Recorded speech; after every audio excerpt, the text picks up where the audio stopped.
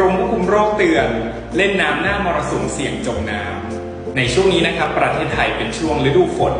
สำหรับจังหวัดที่มีพื้นที่ติดทะเลนะครับ จะเป็นช่วงหน้ามรสุมสำหรับการท่องเที่ยวทางน้ำครับ เพื่อเป็นการแจ้งเตือนประชาชนให้เกิดความปลอดภัยในการท่องเที่ยวทางน้ำและลดความสูญเสียที่จะเกิดขึ้นมีดังนี้ครับ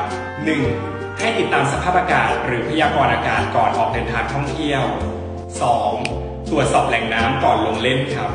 โดยดูจากระดับน้ำ ความแรงของคลื่น กระแสน้ำย้อนกลับหรือคลื่นทะเลดูดรวมถึงสัตว์มีพิษด้วยครับ 3. เล่นน้ำบริเวณที่กำหนดไว้ หรือมีเจ้าหน้าที่ชีวพิทักษ์หรือไลฟ์การ์ดครับ 4. ไม่ลงเล่นน้ำบริเวณที่มีป้าย หรือธงสัญลักษณ์เตือนอันตราย บริเวณที่ติดธงแดงนะครับ เป็นบริเวณอันตรายห้ามลงเล่นน้ำครับ 5. หลีกเลี่ยงการเล่นน้ำบริเวณที่มีสกูตเตอร์บานาน่าโบ๊ทหรือเจ็ตสกีครับ 6. ไม่ลงเล่นน้ำขณะที่ฝนตกหรือหลังฝนตกครับ 7. สวมเสื้อชูชีพทุกครั้งที่ลงเล่นน้ำหรือทำกิจกรรมทางน้ำครับ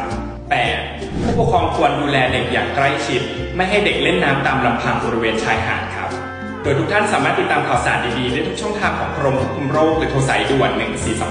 1422เพราะกรมควบคุมโรคห่วงใยอยากเห็นคนไทยมีสุขภาพดี